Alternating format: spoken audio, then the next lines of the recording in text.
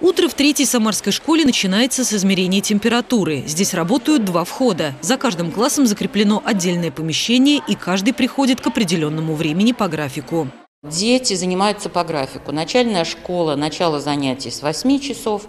Основная школа с 5 по 9 класс детки приходят к половине 9. У них звенят отдельные звонки, у них отдельные санузлы, и поэтому в столовую они идут в то время, когда в старшей школе у ребят урок. У нас цель одна – минимизировать контакты между группами учащихся.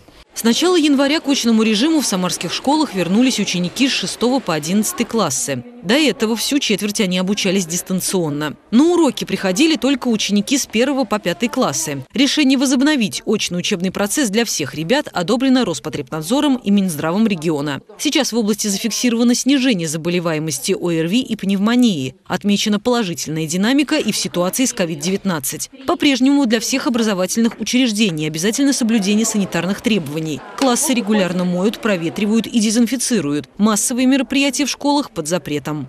Лариса Шалафаст, Максим Гусев. События.